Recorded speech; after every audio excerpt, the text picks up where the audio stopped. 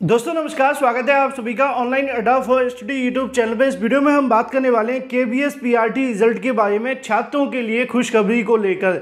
क्योंकि इस वीडियो के माध्यम से आपको जो भी जानकारी दी जाएगी पूरे तरीके से रियल ऑथेंटिक होगी। तो चलिए दोस्तों, वीडियो शुरू करते हैं। चैनल को सब्सक्राइब करके बेल आइकन को दबा लें, जिससे कि आपको रियल ऑथेंटिक जानकारी सबसे पहले मिलती रहे। केंद्रीय विद्यालय संगठन के माध्यम से प्राइमरी शिक्षक भर्ती को लेकर परीक्षा करवाई गई थी, लेकिन अभी तक इसका रिज़ल्ट घोषित नहीं हुआ। लगातार अभ्यर्थी इसके बारे में पूछ रहे थे कि, सर, इसका रिज़ल्ट कब तक जारी होगा? और जब तक मेरे पास कोई ऑफिशियल जानकारी नहीं होती, मैं इसके बारे में वीडियो नहीं बनाता। अब इसको लेकर ऑफिशियल जानकारी यहाँ से जारी हो गई है। डिटेल में बात करते हैं। केंद्रीय विद्यालय संगठन के माध्यम से हाल ही में बताया गया था कि जो पीआरटी को लेकर रिज़ल्ट है, वो तैयार हो चुका है, लेकिन ये जारी कब होगा, इसको लेकर जानकारी किसी के पास नहीं थी। अब ऐसे में केंद्रीय विद्यालय संगठन के माध्यम से ही ऑफिशियल जानकारी दी गई है। छात्रों के माध्यम से आज केंद्रीय विद्यालय संगठन के हेड ऑफ़िस पर जाकर छात्रों के माध्यम से ज्ञापन सौंपा गया, जो कि संबंधित है K B S P R T दो हज़ार बाईस के रिज़ल्ट को लेकर। और इसके बारे में उनके माध्यम से क्या जानकारी दी गई, जिसको लेकर मैं आपको बताऊँगा। लिखा हुआ है कि चार महीने से ज़्यादा परीक्षा को हो चुके हैं। फरवरी 2023 के अंदर इसकी परीक्षा करवाई गई थी, लेकिन अभी तक K B S P R T दो हज़ार तेईस का, बाईस का जो रिज़ल्ट है, वो घोषित नहीं हुआ है। इसके बारे में बहुत सारे अभ्यर्थी लगातार परेशान हैं।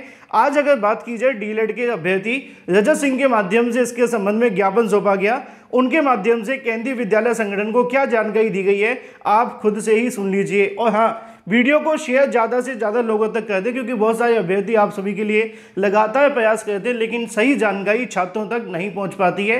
तो शेयर का बटन अवश्य दबा देना और लाइक तो आप कर ही दोगे। Thank you for watching this video साथियों, केंद्रीय विद्यालय संगठन से लाइव है। आज यही ज्ञापन दिया गया था आप सबके रिज़ल्ट प्रकरण पे कि रिज़ल्ट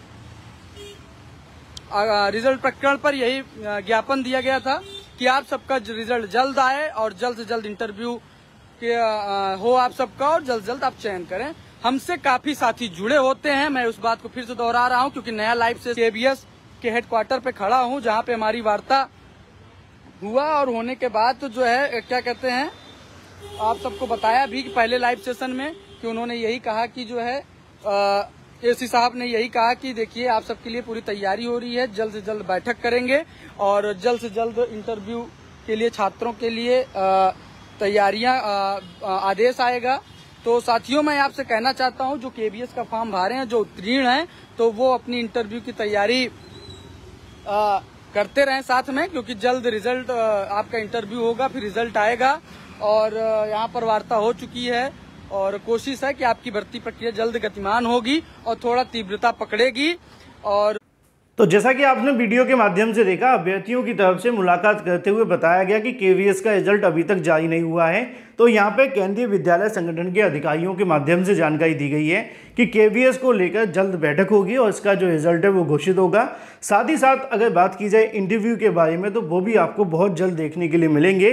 केवीएस के अधिकारियों के माध्यम से ऑफिशियल जानकारी दी गई है कि जल्द ही इसको लेकर होने वाली बैठक में रिज़ल्ट से संबंधित फैसले लिए जाएँगे और उसका जो परिणाम होगा वो आपको ऑफिशियल वेबसाइट पर देखने के लिए मिलेगा आपका रिज़ल्ट फ़िलहाल इस वीडियो के माध्यम से इतना ही। Thank you for watching this video